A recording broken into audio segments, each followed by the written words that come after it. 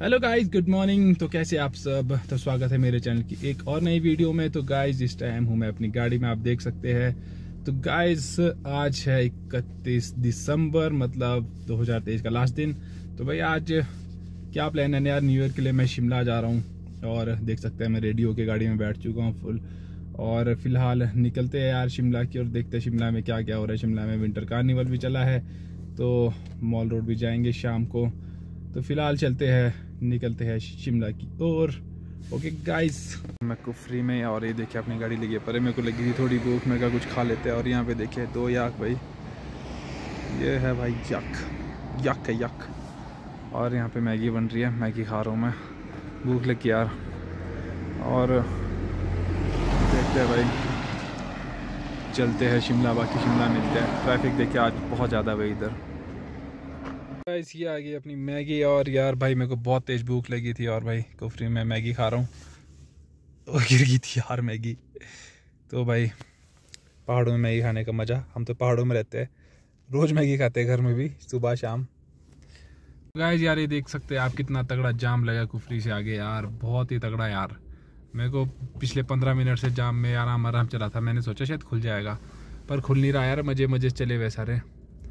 और मैं कब तो वीडियो बनानी ही पड़ेगी इतना लंबा जाम। जाम तो लगना ही है क्योंकि यार न्यू ईयर का टाइम है। टूरिस्ट इतने ज़्यादा आते हैं ना आजकल कि बहुत ज़्यादा।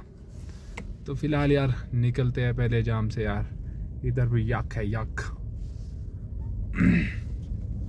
अब हल्के हल्के सिरक रहे हैं थोड़े थोड़े करके बड़ी देर से, इस तरह से ही।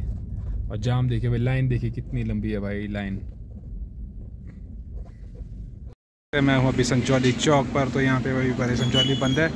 तो यहाँ पर अभी काफ़ी जाम है, काफ़ी आज रश भी बहुत ज़्यादा है, क्योंकि न्यू ईयर के लिए बहुत लोग हैं तो भाई मैं अभी जा रहा था।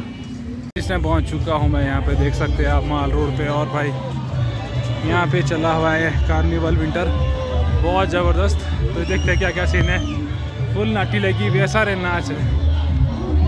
आगे से दिखाता हूँ आप सभी को क्या क्या सीन है यहाँ पर। फन चला हुआ है यहाँ पे इस पे। एक नंबर भाई, बहुत ज़बरदस्त।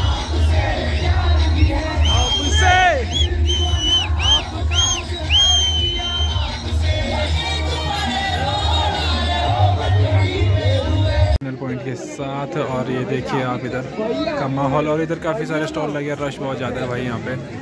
यहाँ पे पान वाले का स्टॉल है, बहुत कुछ है बड़ा पाव वगैरह, इडली वगैरह, बहुत कुछ है यहाँ पर। तो भाई रश बहुत ज़्यादा लोग देख सकते हैं आप कैसे है।